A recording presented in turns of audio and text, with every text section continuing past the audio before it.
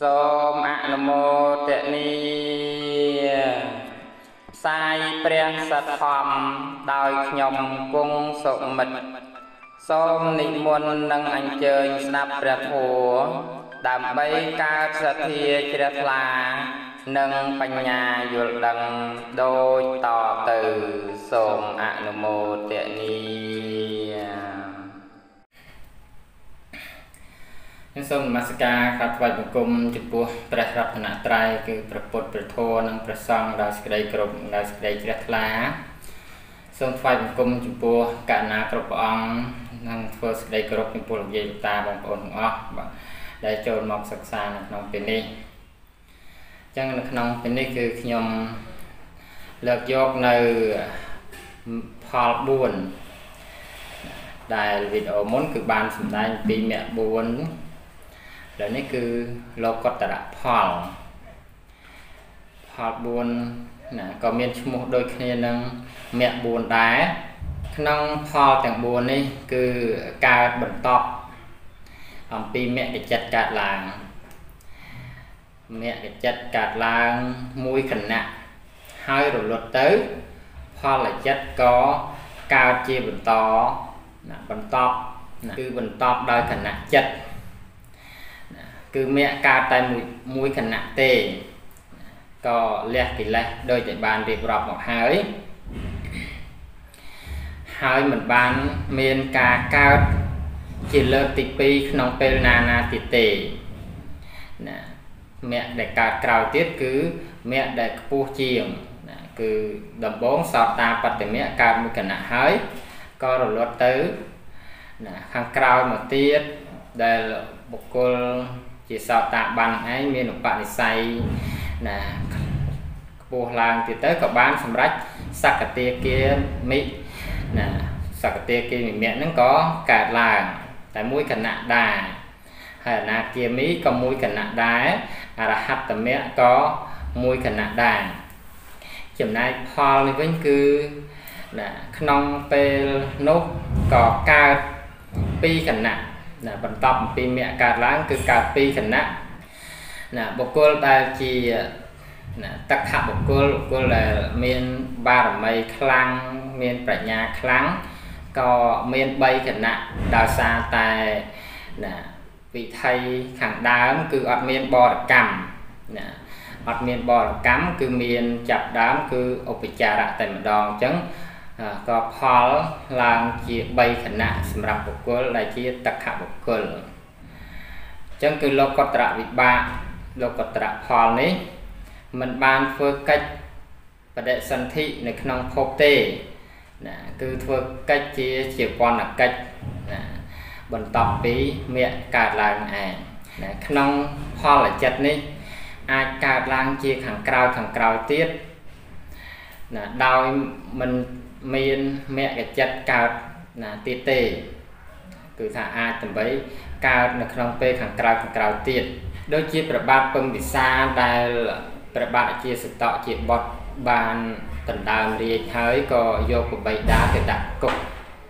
ណាដាក់គុកដោយការបង្អត់បាយមិនឲ្យអ្នកណាយកបាយទៅថ្វាយព្រះរាជាទេ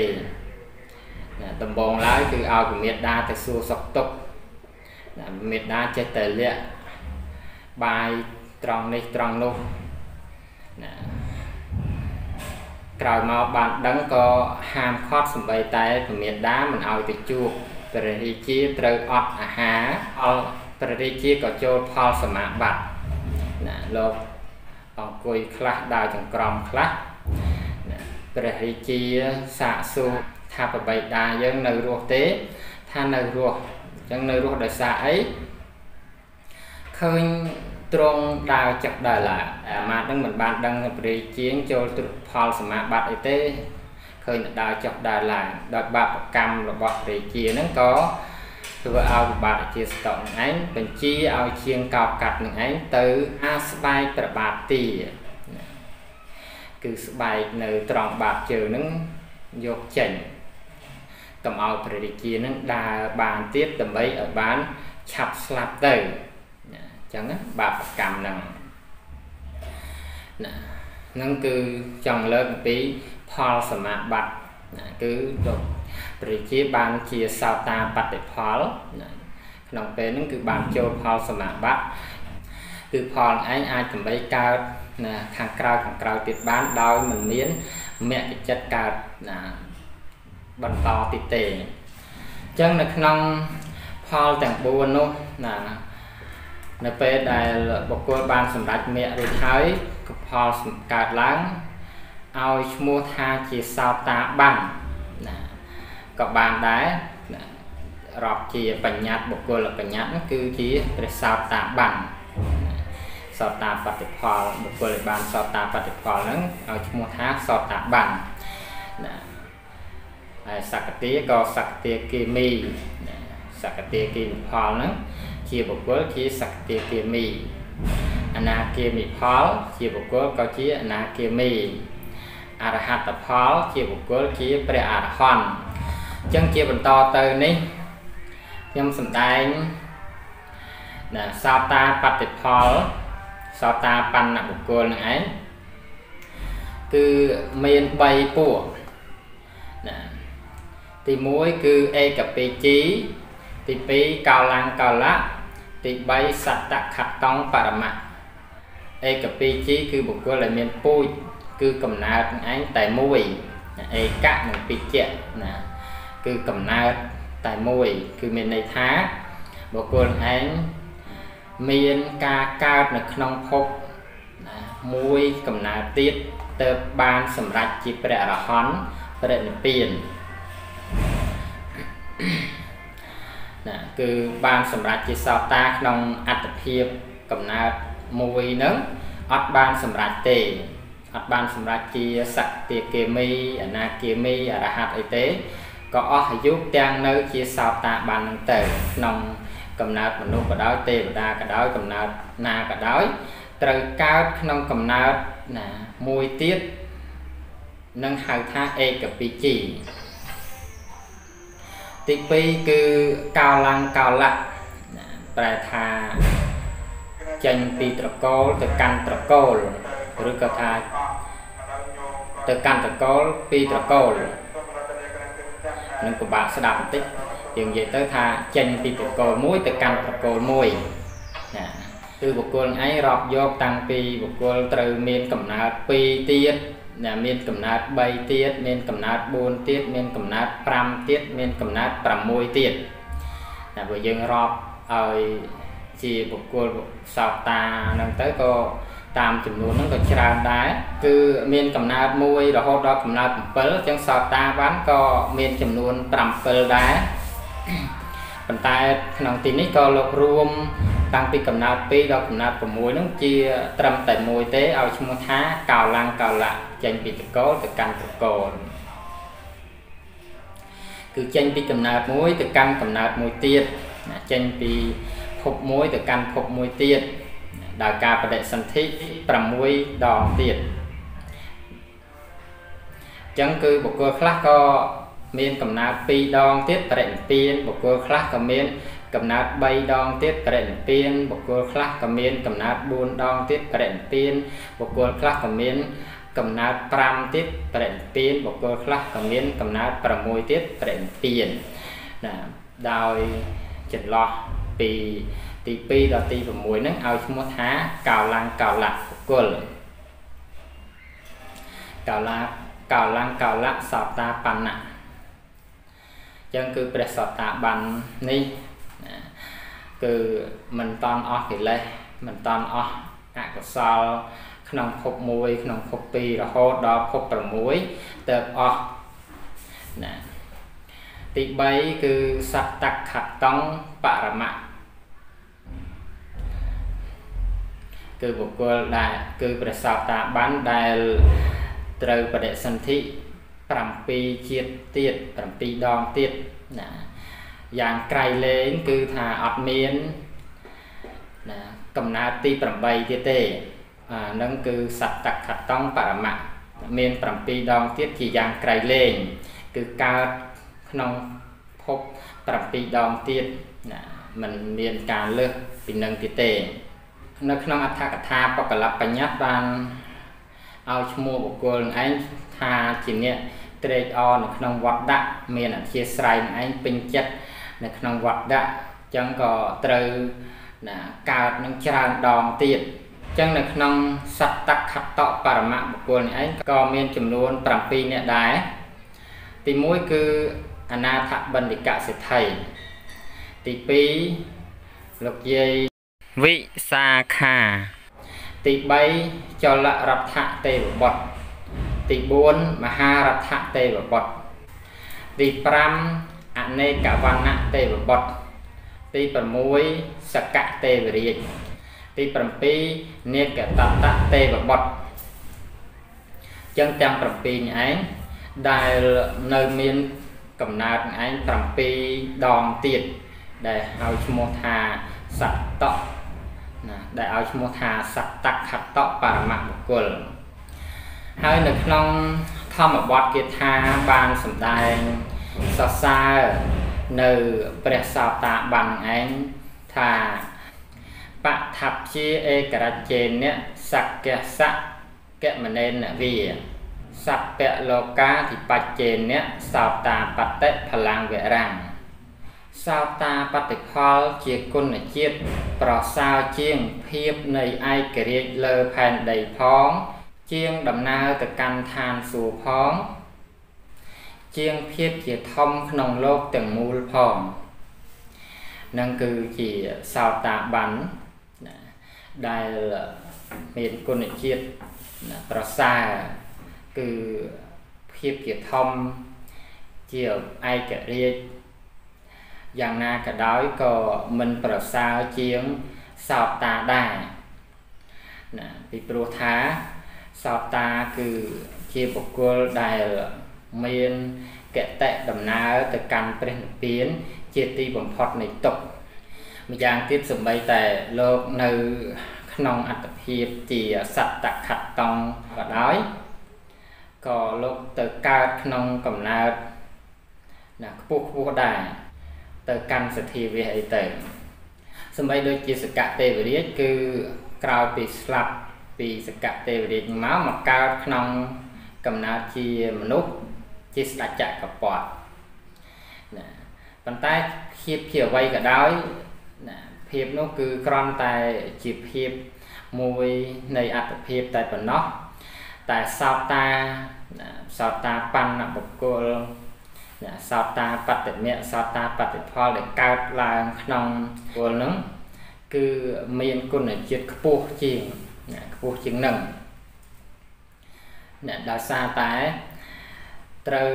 ផុតរួចផុតអំពីសេចក្តីទុក្ខទាំងពួងនឹងណាអញ្ចឹងជាបន្តទៀតគឺសំដែងអំពីសកតាគេមិផលសកតាគេមិបុគ្គលក្នុងសកតាគេមិបុគ្គលនេះក៏មាន5ទី1អិធៈបត្វាអិធៈបរិនិពាយីគឺ ព្រះសកតាគេមីដែលបានសម្រេចនៅក្នុងកំណើតជាមនុស្សលោកនេះហើយហើយក៏បរិនិព្វាននៅក្នុងកំណើតណាជាមនុស្សនេះណាមិនបរិនិព្វានដោយសកតាគីមីហ្នឹងឯងគឺលោកបានសម្រេចហើយនៅក្នុងជាសកតាគីមីហើយក៏បានសម្រេចព្រះអនាគមីជាព្រះអរហន្តតែម្ដងនៅក្នុងកំណើតតែមួយហ្នឹង នឹងក៏ជាសកតាគមីបុគ្គលមួយពួកទៅទី2តដ្ឋបត្វាតដ្ឋបរិនិពាយីគឺព្រះសកតាគមីឯងបានសម្រេចនៅក្នុងទេវលោកហើយក៏បរិនិព្វានក្នុងទេវលោកណាគឺបានសម្រេចក្នុងទីឯណោះហើយក៏បរិនិព្វានក្នុងទីឯណោះឯណោះគឺក្រៅពីមនុស្សនឹង